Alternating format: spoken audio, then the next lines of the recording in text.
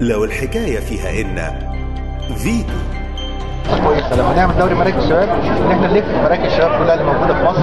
ونعمل ملاعب على مستوى كويس. نحسن يعني مستوى الملاعب بحيث نقدر نقيم عليه مركز دوري مراكز الشباب. فإحنا الحمد لله بنطبق الخطة والدوري شغال كل أسبوع أو أسبوعين نكتشف ملعب جديد يخش في ضمن الملاعب اللي بتستضيف دوري مراكز الشباب. يبقى أنت عملت النشاط وفي نفس الوقت طورت البنية الأساسية.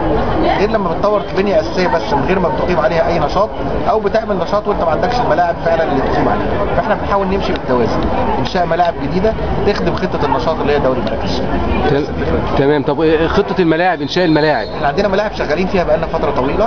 إن شاء الله خلال سنة 2014 هنسلم أكثر من 1500 ملعب نجيل صناعي خماسي مضاء و50 ملعب قانوني اللي بدأنا فيهم دلوقتي كلهم. قبل نهاية ديسمبر إن شاء الله 2014 هنسلم الدولة آه، 50 ملعب كرة قدم قانوني بالنجيل الصناعي مضاء ودي تبقى بنية أساسية تضاف لملاعب الدولة لأن الحقيقة الملاعب الجديدة الصناعي ما بتحتاجش صيانة كتيرة تقدر تستمر 10 أو 12 سنة بدون أي مشكلة الناس تقدر تلعب عليها عدد ساعات طويلة جدا في اليوم. عليها الولاد 10 أو 12 ساعه في اليوم بدون أي صيانه دي حاجة مهمة جدا. هو إحنا ممكن نلعب ماتش الساعة 11 الساعة 2 تقدر تلعب ماتش تاني الساعة 5 تلعب ماتش تالت. يبقى أنت استفدت كمان أكتر كميه ممكنة من الولاد يلعب على الملعب لأنه تمام.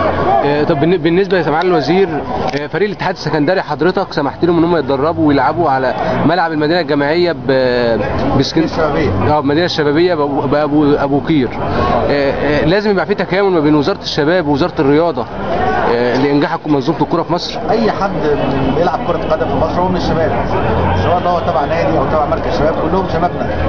فنادي الاتحاد السكندري كنادي كبير يعني زي ما بنقول أكبر نادي في محافظه اسكندريه العاصمة الثانية لمصر